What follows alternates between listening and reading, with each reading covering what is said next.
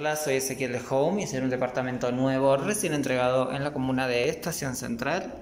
Tiene vista despejada sur, terraza, piso flotante en living comedor, la cocina con cerámicos. Está totalmente equipada y amoblada. Tiene por aquí la conexión para la lavadora. La habitación por acá es alfombrada. Las ventanas son termopanel. Es un piso 34. Dos closets por acá. Y el baño en suite. Continua.